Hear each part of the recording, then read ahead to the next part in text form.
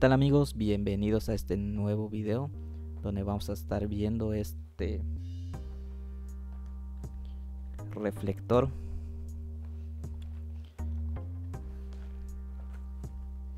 que me han estado pidiendo que ponga a prueba unos reflectores tipo suburbanas en este caso tengo este que es de la marca aquí se puede ver lo compré en Mercado Libre aquí en México. Está rondando entre 750 pesos mexicanos. Pues aquí podemos ver las especificaciones que es de 120 watts y la luz es luz fría como aquí dice luz fría de igual manera podemos ver que trae integrado el panel solar ya que son suburbanas lo traen incluido directamente en la en la lámpara. Igual podemos ver las especificaciones del, panel solar. Aquí está. Se los voy a leer. Dice, eh, dice panel solar de polisilicón eh, de 6 volts y 12 watts.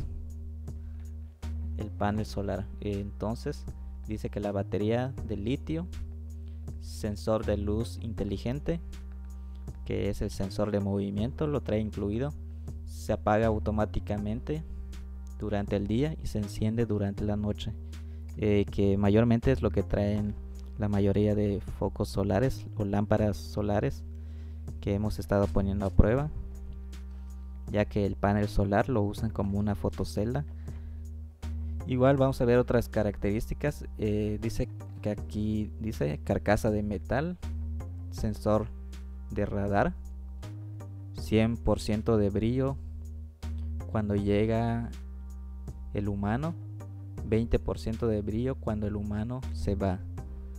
Eh, este, esta función es activando el sensor de movimiento, que al estar presente la persona o haya movimiento, eh, podemos tener un 100% de, de la luz y una vez que se vaya tarda 10 segundos 20 segundos y se activa el 20% y reduce la, la luz. Esta lámpara eh, tiene una vamos a ver si lo dice cuánto es la duración a ver. Aquí no tiene especificación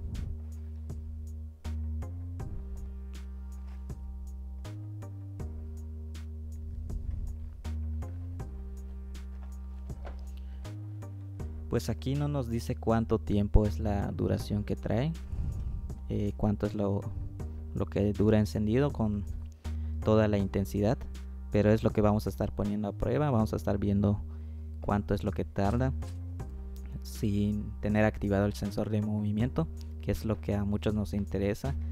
Lo que mayormente se pide es que dure entre 8 horas que es un buen tiempo para una lámpara solar ya que en ocasiones hay algunas lámparas que hemos puesto a prueba y duran entre 2 3 horas y se apagan o bajan la intensidad.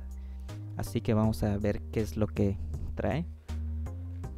Como dicen que el cuerpo de, la lámpara debe ser de metal.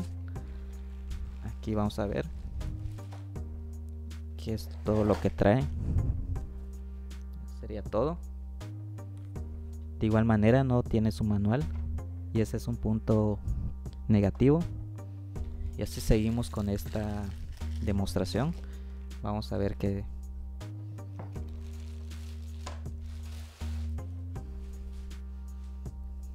que así viene el reflector. El material es un plástico un plástico no es de metal como dice aquí las instrucciones en la caja. Lo único que trae de metal es este. Como pueden ver es metal. Este es un plástico. Esos tornillos sirven para colocar este esta placa de metal para sujetar el tubo que vamos a poner en el que vamos a colocar la lámpara. De igual manera cuenta con un control. Y aquí hay una función muy importante que en otros controles no he visto que en un momento se los voy a enseñar. Aquí lo saqué a cargar. Fue entre dos días que estuve cargándolo ya que en un video anterior me decían que debía cargarlo entre dos días. Y en esa ocasión sí lo hice pero aquí solo les comento que sí lo estuve cargando unos dos días para que para que esta prueba esté bien hecha y así seguimos. Entonces aquí ya lo tengo cargado. Aquí en esta parte de enfrente trae el sensor de movimiento.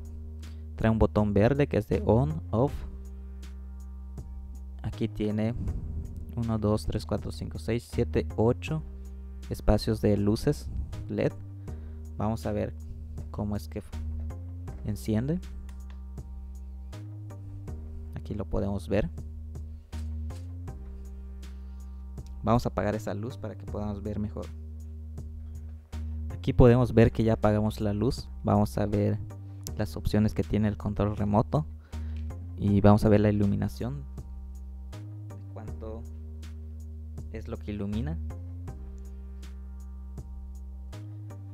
es más o menos entre 15 a 20 watts de un foco normal LED de corriente eléctrica. Y es muy buena iluminación. Vamos a ver aquí este botón. Si lo tenemos apagado no funciona el control remoto ya que es un interruptor general de toda la de todo el reflector. Y puede ocurrir que lo subamos en un poste lo coloquemos y veamos que en la noche no prende aunque este botón aparezca que está cargando pero en la noche no va a encender ya que está interrumpido.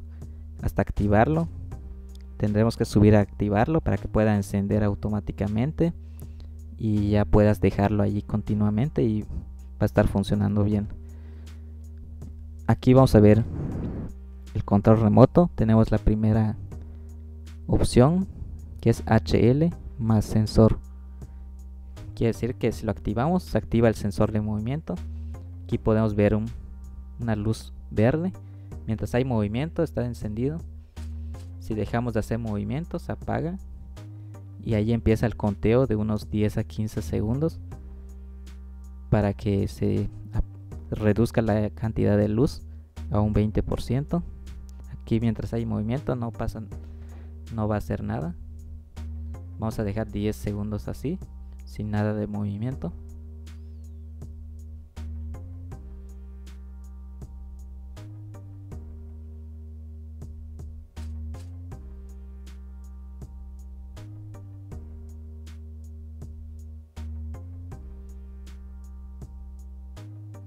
Aquí ya se redujo la cantidad de luz a un 20%. Cuando hay movimiento se vuelve a activar. La segunda función es 2H dos horas más sensor de movimiento. Si lo activamos podemos ver que ya se quita el sensor y se mantiene apagado. Quiere decir que dos horas va a estar encendido al 100%. Después de esas dos horas se reducirá a un 20% ya que se activará el sensor de movimiento. Y esa es la función. Y luego sigue la otra función que es 4 horas más sensor de movimiento, que es lo mismo. 4 horas va a estar activado al 100%. Después de esas 4 horas se va a desactivar y se va a activar el sensor de movimiento. Eh, aunque yo le veo más utilidad a un botón que sea de 6 horas más sensor, ya que si se prende a las 6 de la tarde, entre las 12 se vendría a activar el sensor de movimiento.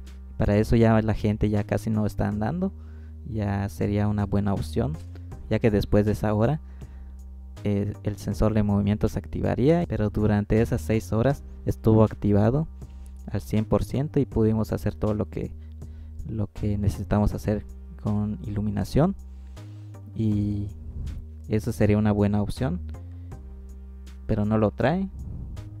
Vamos a ver el último botón que es automático.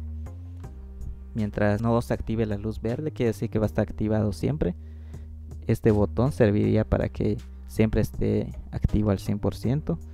En un momento vamos a hacer las pruebas y vamos a ver que eh, en la parte de afuera de mi casa y ver cuánto ilumina, cuánto es lo que tarda al 100% de la iluminación y ver si tarda toda la noche o solo tarda entre unas 3 horas como algunas lámparas que tienen buena iluminación pero no tardan mucho ya que se descarga muy rápido la pila así que vamos a hacer la prueba con este. Nos vemos en un momento. Ahora vamos con las pruebas. Aquí estamos viendo esta lámpara que tengo puesto. Es de 20 watts de corriente eléctrica. Y vamos a hacer la comparación con esta lámpara solar y ver si son similares. A mi parecer son parecidos están entre 20 o 30 watts que es lo que yo le calculo ya que aquí en la descripción de este artículo dice que es de 120 watts. Aquí a la hora que empecé a probar son las son las 7 y media.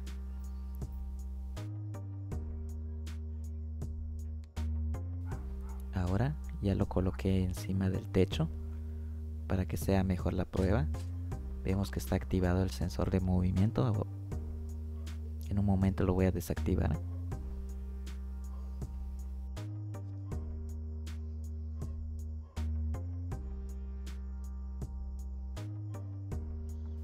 Aquí se activa.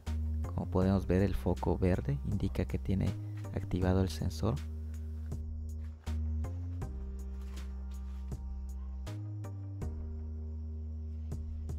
vamos a hacer una prueba de ver el ángulo de que capta el sensor de movimiento.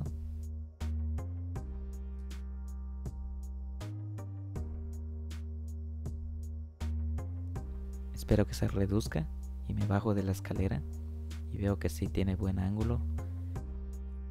Y ya activo la opción de 4 horas más sensor de movimiento para ir viendo cuánto es lo que va bajando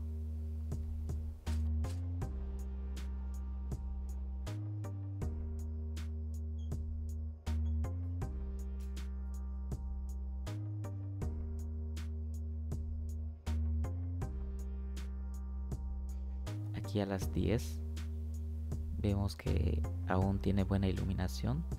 Se habrá reducido un 20% de la iluminación.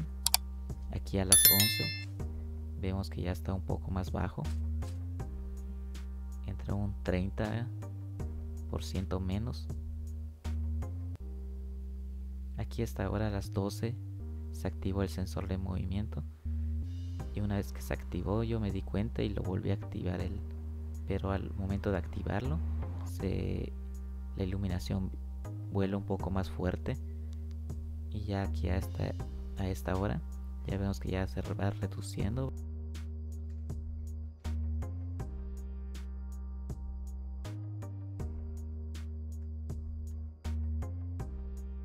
Aquí a las 2 de la mañana vemos que ya tiene como un 50% menos entre 50 a 60% menos de la intensidad de la luz. Aquí a las 3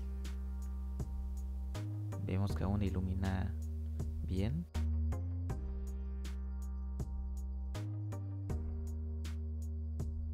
Aquí hasta las 6 de la mañana vine a grabar nuevamente y veo que tiene buena iluminación. Aquí ya se activó el sensor de movimiento.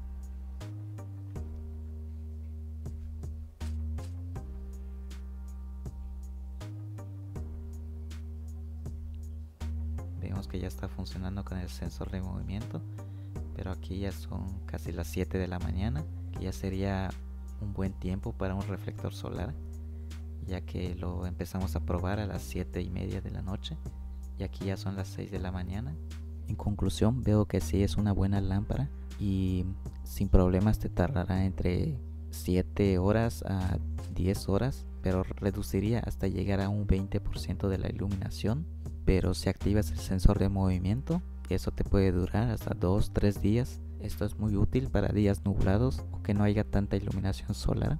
Nos serviría ya que cuando haya movimiento o estén andando las personas estará prendido y en momentos que no se necesite estará reducido a un 20% para ahorrar energía. Y es la prueba que hice este reflector. Espero que les haya gustado.